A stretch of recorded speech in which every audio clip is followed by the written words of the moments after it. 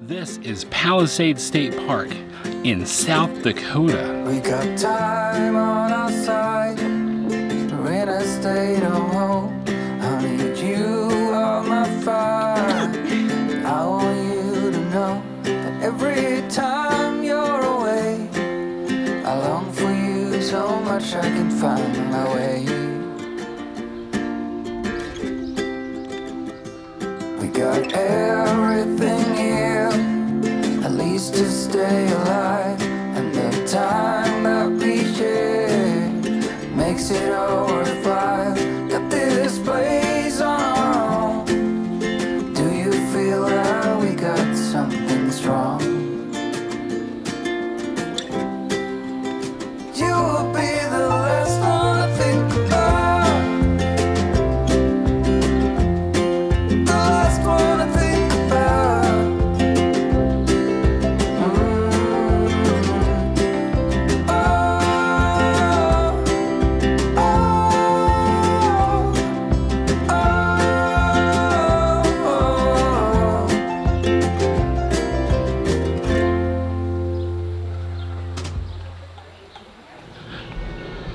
So, somewhere in South Dakota, looks like the park is pretty busy.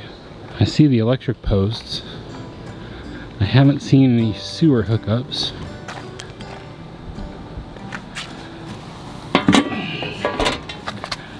So it's a 50 amp.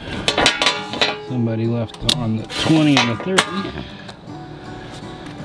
Looks kind of like an ADA table.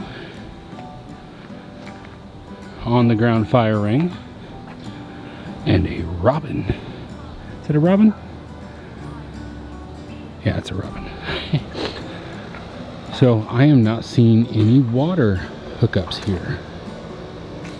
I did see something for water further up. This might be a type of thing where you have to come and fill things up and bring it back to your campsite. Got some dumpsters and a few trash cans right here by the showers.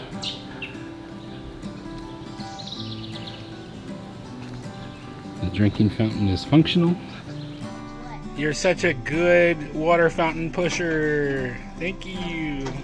Lighting is one of my favorite things. So it's pretty cool to see this light here, solar power that shines down on these steps. Check out those steps made out of the local stone. Right.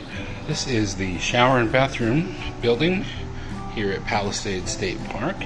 It's kind of neat plug in a little counter and another mirror. If you needed to do some, I don't know, hair trimming or something.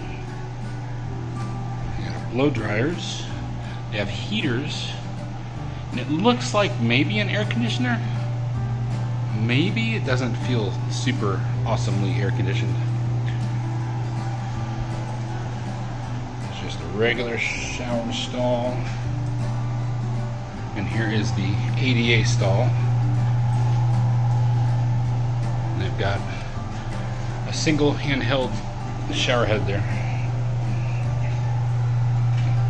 That hook's broken.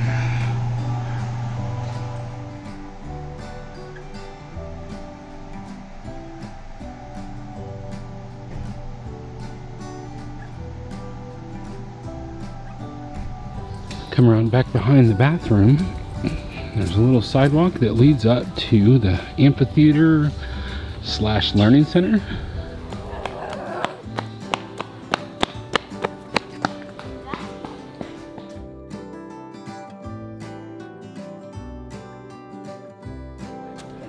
Yes. Rawr. Because he's.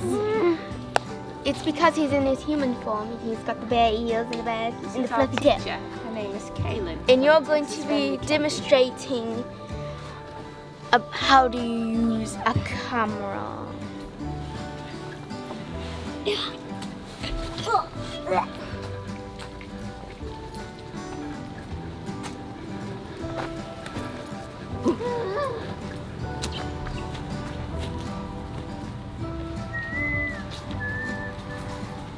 All right, so this is the Amphitheater and Learning Center. It's kind of neat. They got two fire rings down here, a table at the front, along with the working yellow lights and a white screen there. It's all in pretty good shape. Then you've got like some bleacher style seats here, as well as some tables up at the back, and it looks like a trail in the grass that goes up the hill. Oh, and there's also this hexagon shaped table over here.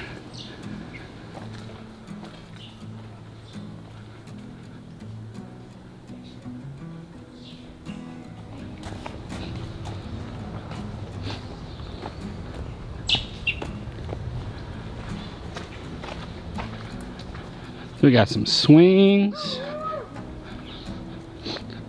couple of slides, some stuff to climb on. There's a park bench here to sit on.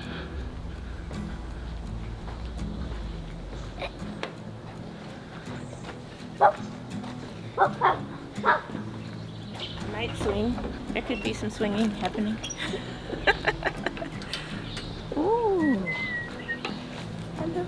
So you want to hear something interesting? Not only is there no sewer hookups, there's no water hookups. Only electric. 20, 30, and 50. It's probably because it's tough for them to maintain those water pipes in the freezing cold winters. So I saw something for water further back up. I think that they would have to, uh, I think that you would have to take big jugs and go fill up water and bring them back. Sounds like a pain. Yeah. A pain. So there's no water spigots at the campsites. Apparently this is where you have to come if you want to get some water for your campsite. It's going to be, uh, well, I guess if you had a hose, you could run it over and fill up your RV right here at this pull-off. So this is what the cabins look like here at Palisade State Park. Got a little air conditioner in them. Got a uh, on the ground fire ring and grill over there, and then you got these cool decks. Got a picnic table, a couple of Adirondack chairs, as well as some benches right there. And the doors are all locked up, so I won't be able to show you the inside. When I say I've seen some of these when I was a teenager, and it's like like a large bunk, small bunk, and maybe a table inside. They're heated and air conditioned from the cabin I can see the water on the river through here. I'm not sure if you can see it. You need if there was some kind of trail right here that went down there. Probably some kind of official unofficial trail. So there is a good amount of day use area around here. And in the day use area you can find some grills some on the ground fire pits. There's some picnic tables there's dumpsters throughout. You can see some dumpsters over there and a few sporadic single-use bathrooms. And I thought this was a pretty nice volleyball net that they have set up here. And the water, the cliffs are basically right over here. Drops down and the water's down in there. Down here at the end of the day use area, have this nice picnic area. Got a barbecue pit. There's an on the ground fire ring over here and that nice stone fire pit.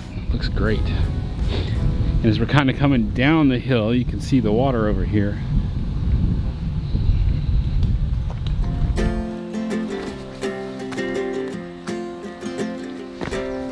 Got a lot of history with this park. I grew up in this area and I recall going to this park like with school field trips, with other family members. And then when I was in my high school years, my friends and I used to come out here and go camping and hiking and climbing on the rocks and get in the water. A lot of history here.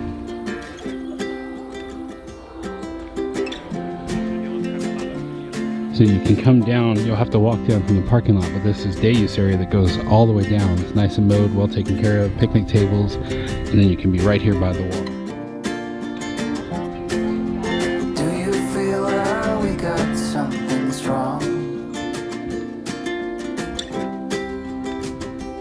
I saw you